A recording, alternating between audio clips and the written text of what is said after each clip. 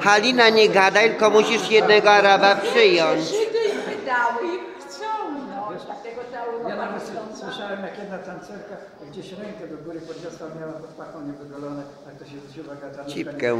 Oj, tak, on sobie nie pozwalam, to nie. Ja bardzo dokładnie się miałam